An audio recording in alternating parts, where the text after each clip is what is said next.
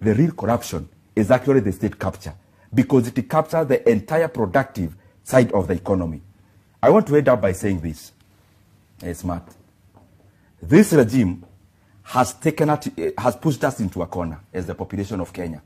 That is why you are seeing even the kind of revolt the people of Mount Kenya region are doing in terms of the by-elections.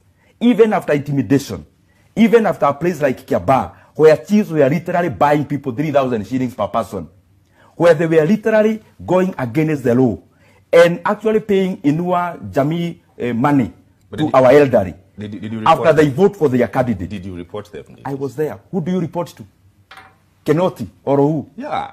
Which Kinoti? you, you, you, you are responsible, Senor. Over the weekend, he drinks with the same people I'm going to report. You, you should report this. We are waiting for our time to clean up. We have no time to keep reporting people here and there to themselves.